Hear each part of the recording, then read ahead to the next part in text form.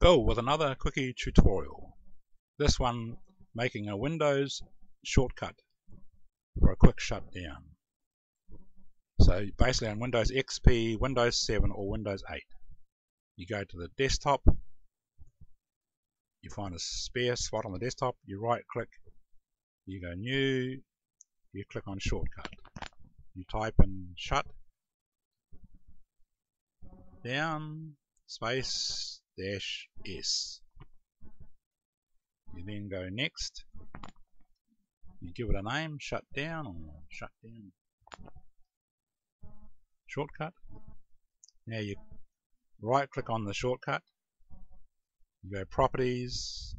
You go change icon. Ok you select the stop or the normal shutdown icon. Right. Now you go down to the toolbar you right click you make sure it's not locked and that the quick launch toolbar is available now it's a matter of grabbing it